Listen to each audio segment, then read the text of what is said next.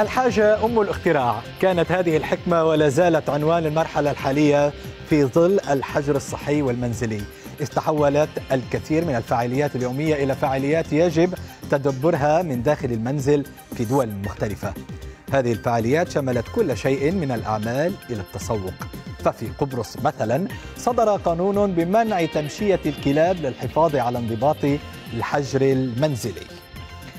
وبناء عليه قرر أحد الأشخاص في قبرص اختراع طريقة جديدة لمربي الكلاب يستطيعون من خلالها تمشية كلابهم دون مخالفة القانون. وقام بتصوير الطريقة ونشرها على مواقع التواصل الاجتماعي.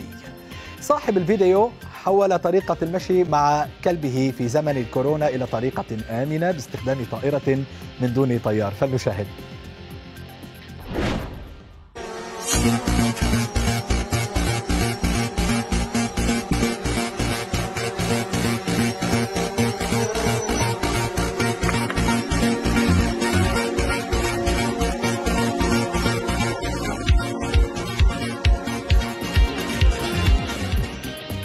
هذا المقطع حاز على العديد من التعليقات والمشاركات وكان منها شاهين بهجت الذي كان لها له مشاركة على مواقع التواصل الاجتماعي. قال كده أنتوا عرضتوا حياة الكلب للخطر. افرض الكلب تعدى أو تعدى بالكورونا من حد برا. أما بلال فقد لفت الأنظار لشيء آخر وعلق طب شو بالنسبة إلى الصور بالفيديو وحافظ كان له أيضا تعليق على هذا الموضوع. أنتم عارفين إنه لو الكلب فلت الطيارة ما حتسيطر عليه. العدي هنا كان له أيضا مشاركة طريقة ذكية ومريحة أنا هستعملها حتى بعد ما تخلص أزمة الكورونا.